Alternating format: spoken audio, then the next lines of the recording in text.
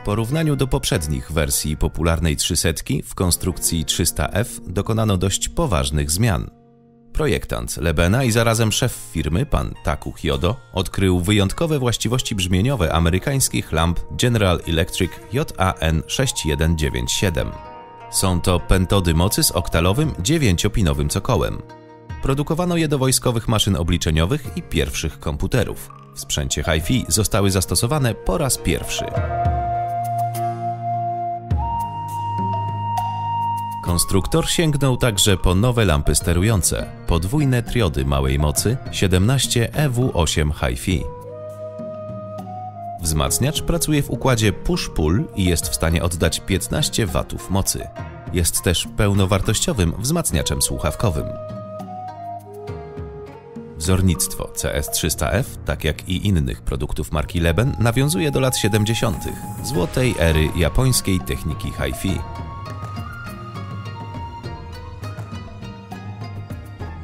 Na ozdobionym zielonym paskiem złotym froncie znalazły się obrotowy selektor źródeł, gałka krokowego potencjometru, wykorzystano tu sprawdzoną konstrukcję firmy Alps,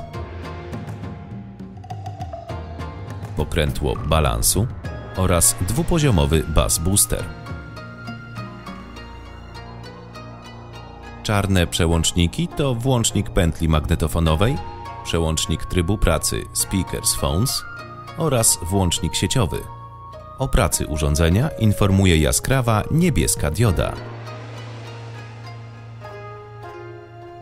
Wszystkie elementy wzmacniacza łącznie z lampami zamknięto w niewielkiej, kompaktowej obudowie. Ozdobne, drewniane boczki wykonano z jesionu kanadyjskiego. Środek przedzielono poziomą płytą, na górze której przykręcono lampy i transformatory.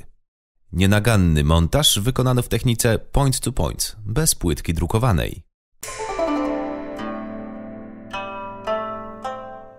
Pięć wejść liniowych zrealizowano na złoconych gniazdach RCA. Jest także wyjście do nagrywania oraz zewnętrzny zacisk uziemienia.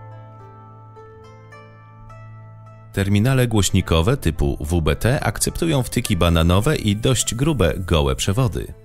Obok umieszczono przełącznik wyboru nominalnej impedancji kolumn. Do wyboru mamy 4, 6 i 8 ohmów. Gniazdo zasilania to standardowe przyłącze IEC. Wzmacniacz stoi na antywibracyjnych nóżkach.